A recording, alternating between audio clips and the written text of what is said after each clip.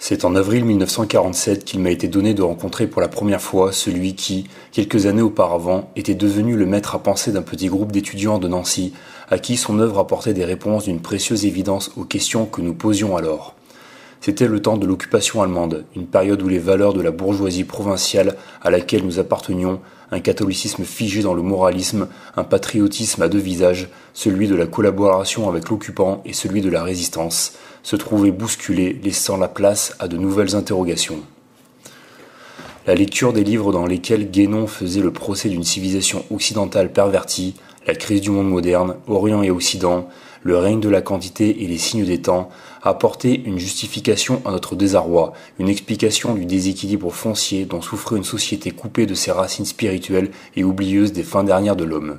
Quant aux articles de la revue Études traditionnelles et aux ouvrages où Guénon exposait les bases de la métaphysique orientale, la doctrine védantique et la signification des sciences sacrées et de leurs symboles, il transmettait dans un langage d'une exceptionnelle clarté des notions qui s'imposaient à l'esprit comme des certitudes et suscitaient le désir de trouver une voie vers la réalisation intime des connaissances désormais ancrées dans le mental. Ainsi, l'œuvre de Guénon ne nous fit pas seulement percevoir la réalité et l'universalité des principes qui sont à la base de toutes les grandes religions et civilisations, mais elle eut des répercussions profondes et durables sur la vie de beaucoup d'entre nous. Certes, Guénon s'est toujours défendu d'être un guide spirituel, un gourou ou un mourchide, c'est-à-dire techniquement parlant un conducteur d'âme et ce n'est qu'avec la plus grande circonspection qu'il a parfois fait allusion aux possibilités d'obtenir de nos jours un rattachement initiatique en Orient ou en Occident. Pourtant, du Caire où il résidait depuis 1930 sans jamais être revenu en Europe, Guénon était sollicité de répondre aux questions de plus en plus pressantes qui nous préoccupaient. Où, à quelle tradition s'adresser pour trouver une voie spirituelle authentique, un véritable guide pour s'engager sur un chemin de la gnose? De ce que Guénon écrivait alors, il ressortait que l'Église avait perdu la clé des grands mystères et n'ouvrait plus la porte qu'aux petits mystères, c'est-à-dire au salut de l'âme individuelle, non à la délivrance, à la fusion avec l'absolu, à l'identité suprême. Peu à peu, quelques éléments d'information nous parvenaient par l'intermédiaire du secrétaire de la revue Études traditionnelles, Marcel Clavel, avec qui Guénon entretenait une correspondance régulière et que, les uns ou les autres, nous allions consulter à Paris dans la librairie Chacornac, située alors face au square de Cluny bien que se voulant neutre, ne cherchant à influencer personne, les indications ainsi glanées servaient à calmer notre impatience et à orienter notre recherche. Ainsi nous faisait-on entendre, à nous qui étions nourris des enseignements contenus dans l'homme et son devenir selon le Vedanta, que n'étant pas nés dans une caste, nous ne pouvions prétendre à une initiation au sein de la religion brahmanique. Du côté du taoïsme, que Guénon avait bien connu par l'entreprise de Madjoy, Albert de Pouvourville, nous apprenions que les porte ne s'ouvre qu'en grinçant. La maçonnerie offrait-elle quelques possibilités d'initiation véritablement opératives? Guénon semblait y croire à l'époque, autour de l'année 1945, et encourageait activement la création d'une loge, la Grande Triade, fondée sur la connaissance et la vivification d'un symbolisme de portée métaphysique. On entendait aussi parler d'un groupement chrétien, le Paraclet, qui se réclamait de l'œuvre de Guénon et d'une authentique filiation chevaleresque. Mais surtout, il nous faut communiquer toujours venant de la même source qu'il existait en Europe une branche de la Tariqa, l'ordre soufi qui avait fondé quelques 25 ans plus tôt un maître spirituel algérien, le Shia Hamad al-Halawi de Mostaganem, décédé en cette ville de 1934. Parmi ses disciples d'origine européenne, l'un avait été reconnu comme son successeur et dirigeait des groupes de Fukara, pauvres en Dieu, répartis notamment en France et en Suisse. La possibilité existait donc d'obtenir un rattachement initiatique sur le sol européen et, dans le cadre de l'islam, sans céder à l'appel de l'évasion et de l'exotisme. Considérant que Guénon, qui résidait depuis 1930 en Égypte, où il était désormais connu sous le nom de Shir Abd al-Wahid, serviteur de l'unique, avait lui-même adopté la voie de l'islam et du soufisme, le même choix s'imposait spontanément à plusieurs d'entre nous.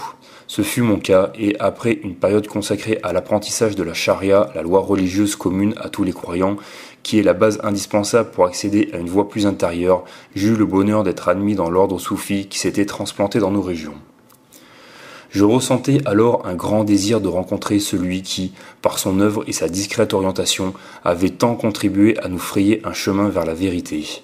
La Providence facilita ce dessin en me procurant un poste de professeur d'anglais au lycée franco-arabe de Damas.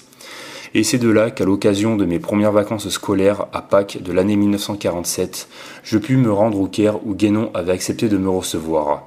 Ce fut mon ami Martin Lings, alors lecteur de littérature anglaise à l'université Fuad, qui me conduisait chez Guénon avec lequel il était en contact quasi quotidien.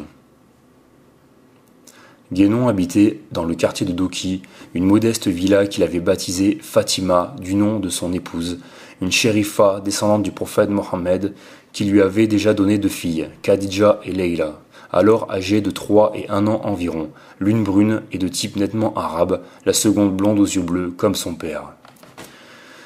Venant lui-même nous ouvrir sa porte, cher Abdel Wahid, habillé d'une longue tunique djellaba, m'accueillit d'emblée comme un intime.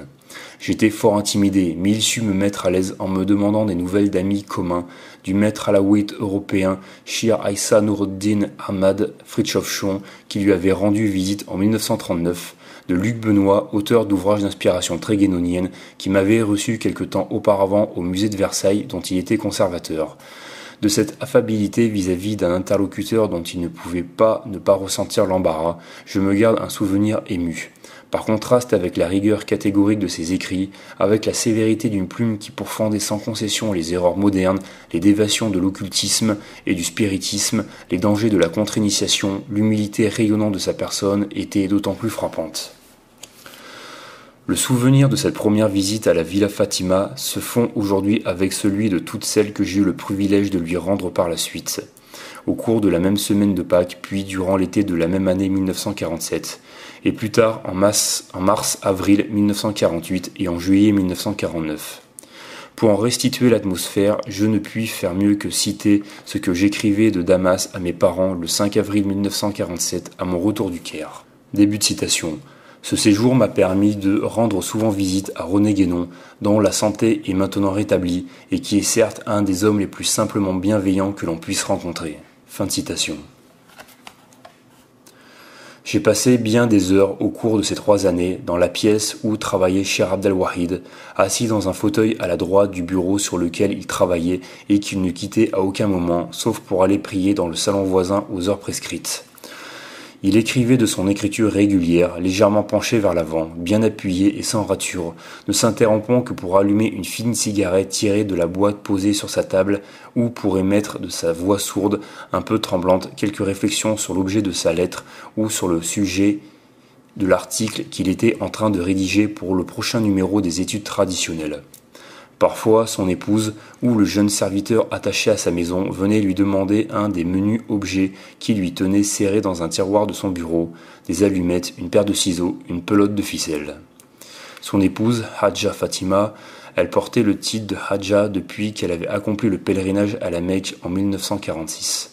S'adressait à lui avec douceur, l'interpellant avec le titre de Houstad, entre guillemets professeur, elle pouvait être accompagnée de l'aînée des fillettes et porter la plus petite dans ses bras.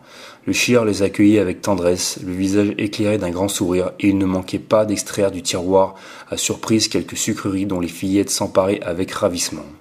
Ainsi, je me sentais comme faisant partie de la famille, en partageant les préoccupations de René Guénon, écrivain, et celles du chef de famille. Les nouvelles qu'il me communiquait portaient sur les livres parus récemment, dont il préparait des comptes rendus pour les études traditionnelles. Un jour, me montrant un livre de Alain Danielou sur la musique hindoue qu'il venait de recevoir, il fit une remarque qui, venant de lui, un mathématicien confirmé, capable de pénétrer sans peine les arcanes du symbolisme cosmologique, ne manqua pas de me surprendre. Début de citation. C'est bien compliqué. Fin de citation, me dit-il avec un soupir. Souvent, lors de nos rencontres, il me demandait des nouvelles d'un ami de Nancy, André Jeannot, qui venait de fonder une revue intitulée La Table Ronde et d'éditer La Grande Triade, ouvrage dans lequel Guénon a développé ce symbolisme des trois plans de l'univers, ciel, terre, homme, à partir de la tradition chinoise.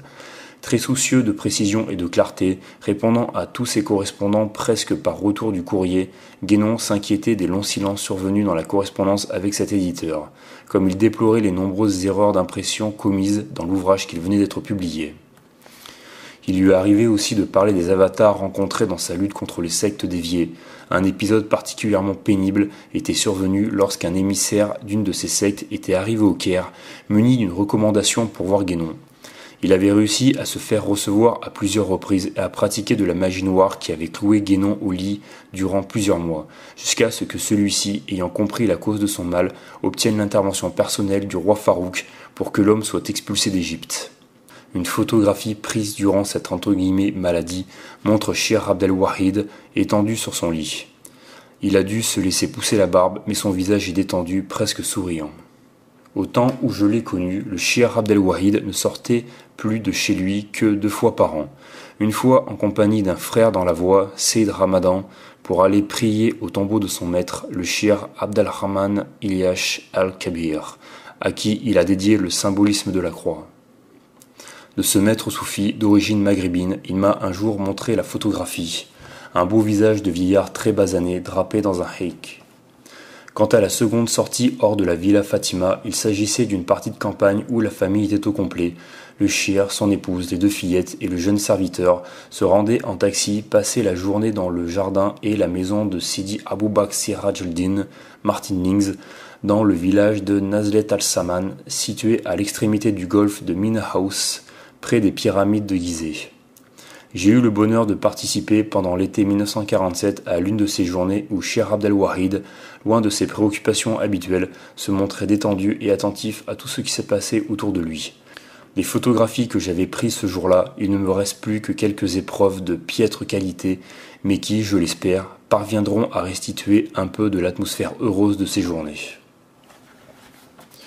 L'heure des adieux est venue en juillet 1949. Ayant terminé ma troisième année d'enseignement, j'avais décidé de rejoindre l'Europe pour étudier l'architecture.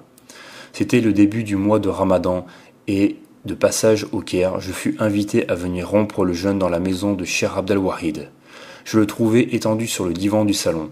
Il m'expliquait que le jeûne le fatiguait au point qu'il ne pouvait travailler que la nuit, la journée étant consacrée à la prière et au repos. Dès que retentit le coup de canon annonçant le coucher du soleil, Hadja Fatima nous apporta une tasse de café turc qui fut bu en même temps que nous allumons une cigarette. Ensuite, de quoi Cher Abdel Wahid accomplit la prière du Maghreb, dont je suivis les mouvements derrière lui. Après un excellent repas à l'égyptienne et une paisible veillée, je pris congé du Shir et de sa famille. Au cours de l'automne, je lui adressai des copies de photographies prises l'année précédente en même temps que quelques détails sur ma nouvelle orientation professionnelle. Une lettre ne tarda pas à me parvenir dans laquelle il me remerciait pour les photographies, en particulier pour la photographie à l'oie qui montre Leila se balançant sous l'œil de sa grande sœur dans une petite nacelle en forme de volatile. Il m'adressait des vœux pour la carrière que j'abordais et m'annonçait la naissance de son premier garçon, Hamed. Ce fut le dernier message que je reçus de lui. Un an plus tard, en novembre 1950, il tombait sérieusement malade, en même temps que ses trois enfants. Tous furent soignés avec un dévouement admirable par Hadja Fatima, pourtant enceinte pour la quatrième fois. Mais son corps, déjà affaibli par d'anciens épisodes de maladie et par le manque de mouvement, ne résista pas à cette ultime agression. Un deuxième fils, Mohamed, devait naître quelques mois après le décès du Cher Abdelwahid Yahya, survenu durant la nuit du 7 janvier 1951. Que Dieu nous fasse profiter de ses mérites et de sa baraka. Jean-Louis Michon, Chambéry, Genève, août 1997.